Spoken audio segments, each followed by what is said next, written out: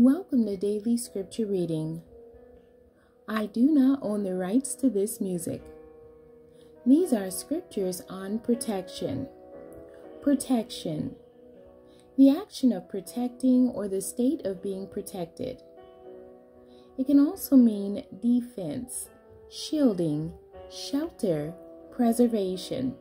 It can also mean a barrier, a buffer, a shield, a screen, a hedge, or a cushion. I will read the King James Version first, and then the Amplified Version of Isaiah chapter 46, verse 4. And even to your old age I am He, and even to hoar hairs will I carry you. I have made, and I will bear, even I will carry and will deliver you. The Amplified Version Even to your old age, I am He, and even to your advanced old age, I will carry you.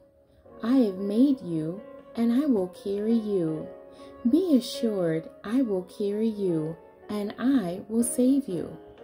The end. God bless you, and thank you for joining me today.